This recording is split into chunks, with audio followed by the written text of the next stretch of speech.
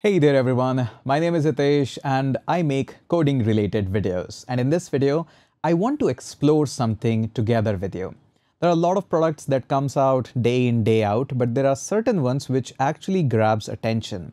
And most commonly the ones which are open source grabs most amount of attention. So that's exactly what I want to do.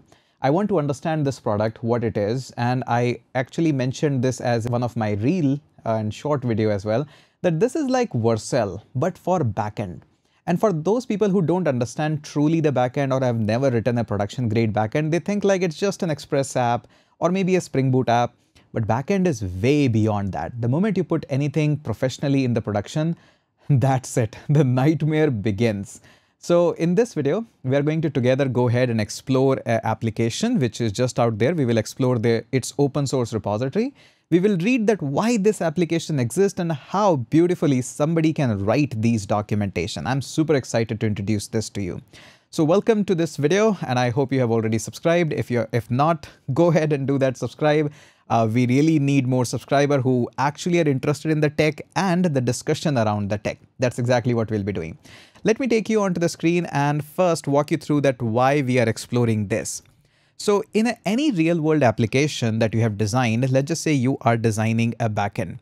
So usually the backend feels just like this, that this is my backend and this backend is going to be talking to some of the database. Uh, let's just say this is my uh, database, which is very small, but this is not usually.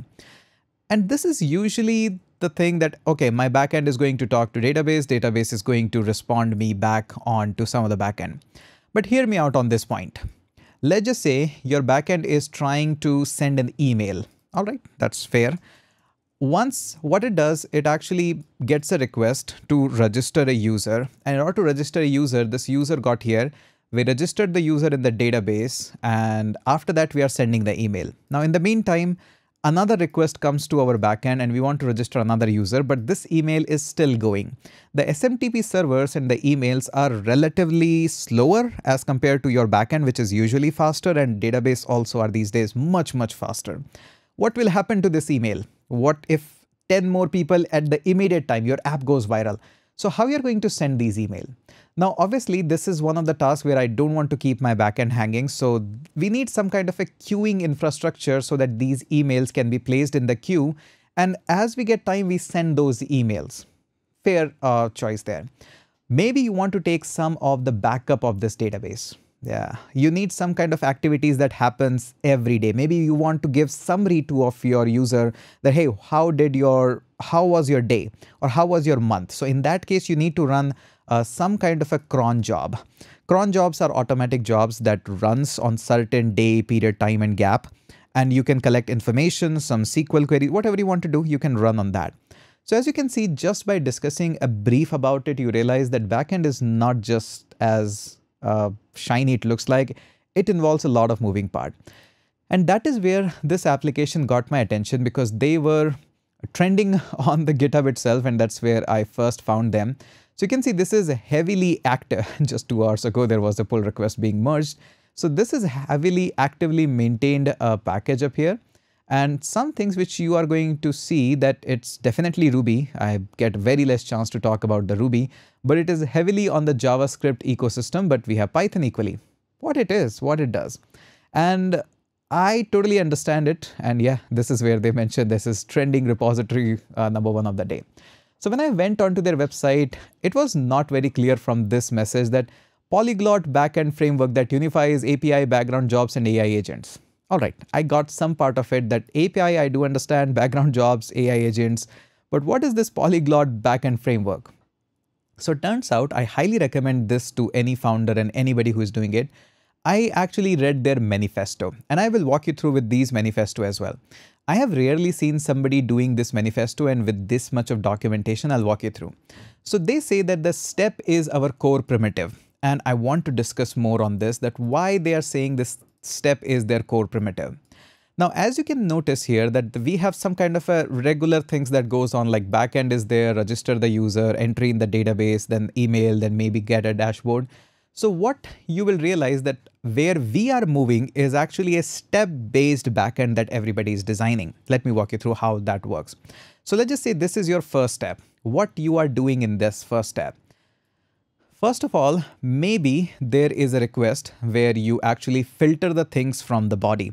Maybe a simple get request or a post request. So basically, you go ahead and add user to database. Seems okay. So this is my step one. What happens in the step two? In the step two, maybe I want to send email to this user.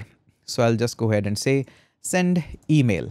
Now, not only send email, we are adding the user, but maybe some more information is coming up about the user. Maybe his date of birth, maybe resume is also coming up.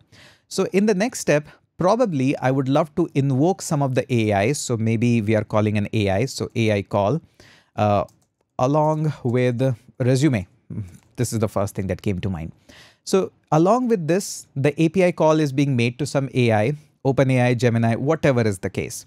Now, once this AI call comes up, then another step is that you want to process all of this data in some kind of a CSV format. I don't know why, but some kind of a CSV format you want to go with that. Now, once this is all done, and by the way, once we add the user, we just return the response back just right from here. We don't wait for the user that uh, all this is happening. So we go ahead and send back the response to the user. So user is happy that, okay, I went up and registration was successful. But behind the scene, you are doing sending of the email. Once the email is being sent, then only I want to uh, do an AI call and then I want to add you to some of the CSV and maybe more things. Can you notice a pattern here? That this is a single step. And that's why they say step is our core primitive. So one of the step is here, another step is here, another step is here. And interestingly, this whole thing might be in TypeScript. But on the other hand, this whole thing of AI calling and everything, this could be in Python. So what do you think? Are too much of frameworks being involved? There could be a case where Fast API, Express, all these things. But where they come into the picture, they say these are individual steps. We are going to treat them as an individual step itself your team can write whatever they wish in TypeScript, whatever they wish in Python or any other language that they support and this is how we want to go. Now let's go ahead and together read this because you will understand this that what they really want to say and why I call them as uh, Vercel for backend. So notice this, drawing inspiration from the power of simple elegant primitives like React component. Motia introduces the steps.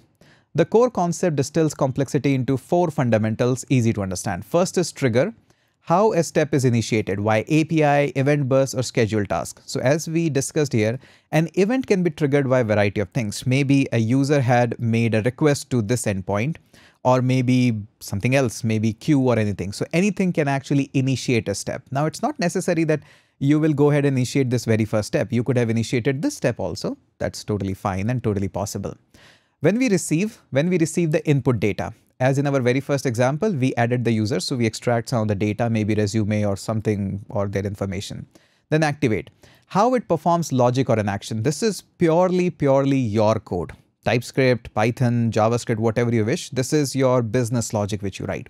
And finally, emit. How it optionally outputs data or triggers in other steps. Notice here. So once you have added this the user, you can actually return the email of the user so that this send email, once it receives the email, it can send this email to this user. And this can actually trigger a true point that only if we have sent the user, I am returning you back a true. And this step will automatically receive the data from the above step and then we can make an AI call. So I hope now you can see that how these all things are making sense and why they're calling that step is our core primitive. So this is the thing that I liked. And again, we have 25 years of knowledge of event base and microservices. We don't need new connection and all of that. So beautifully written this whole thing. Now I hope this makes much more sense that why this is happening. I would love to read a little bit more paragraph of it. I won't be reading the whole point of it, uh, but just couple of things. So notice here, Motia exists to unify all of these components. API endpoints, the schedule task, the background jobs, the message queue, whatever you do is just a step. And workflow orchestration in a single coherent system and with the shared observability and developer experience. So this is what I like. There is a little bit more, uh, not much, but just a tiny bit more I want to read so that you can actually understand the power of how it's being done. So notice here, this is the part where I want to directly jump and read this. So from Express or Flask, API endpoint with routing and middleware, but no built-in background job process or schedule. So you need separate tools for doing all these things. We have Express, we have Flask, we have Fast API, but for queue, we need some kind of a queue mechanism. Uh, that can be BullMQ or you might be using Amazon Q, whatever you're using, that's fine. And you also need uh, traditional cron jobs. Cron are really most important thing. They take the database backups and whatnot and your point in time recovery. A lot of things are done. And then maybe you want to make more calls to AI engines and they also take their own time to get you the response back and a whole lot of thing. So Motia is designed to miss that filling piece. It provides a unified backend framework that replaces the need to write uh, or have an interaction with multiple tools. And what I really like about it, although they call themselves as a framework, but I think they are not framework. We need to discover a new word for this because what they allows us is if you look into their docs is you just write your steps. So this is how you define, they mention this, I'll walk through more of the videos. So you just write your steps and you can write your steps in any language you have. So how is this a framework? You can write in TypeScript, in JavaScript, in Python, whatever you wish. All you have to do is just this config, this much it, that is it. And you can do exactly same thing here as well. So I don't think framework actually justifies them, but I don't know what else to call it. But the whole point of these kinds of application is that the whole thing that how we used to do the development in a traditional way is actually transforming. And the reason why this repository was whole trending is actually a proof of concept that the whole ecosystem is now changing instead of writing the whole traditional thing Maybe very soon people will be writing in whatever the language they prefer and they will just focus on writing my step. Still, you also do that. You just focus on writing the controller and where that controller is going to be served, the route of it. And surely there are middlewares and other stuff, but I think this is another way of thinking how I'm going to write my application and especially the backend part of it. I really, really like. And welcome to Motia and all of that. You can just go and work more of it. I will go ahead. Oh, that's, this is a beautiful diagram. So if you look onto this, this is just a primitive step that can do uh, all of things. It can serve API endpoints, it can do the background jobs, AI agents, fault tolerance, observability, single deployment. That's that's huge. So I would definitely prefer to make more a video on it in the future and uh, really good, good stuff. And I highly recommend you to go out and check their open source repository as well. There is so much to learn from this. Even if you just explore their just the playground part of it, the way how they have executed the playground and there is so much to learn uh, within their YAML files. Amazing infrastructure that they, by the way, they offer the Docker as well. Probably in the next video, we'll play around with their Docker ecosystem and we'll try to self-deploy it. So that's it. This was more of an introduction video that how things actually are transforming and how the new players are coming in the market that are challenging the traditional way of designing the application. Hope this was interesting for you uh, because it was very much interesting for me. And I build, I create more such kind of videos which are interesting new tech. Uh, sometimes we do the whole full backend ecosystem and traditional applications and tutorial as well. That is it for this video. Let's catch up in the next video and explore it a little bit more.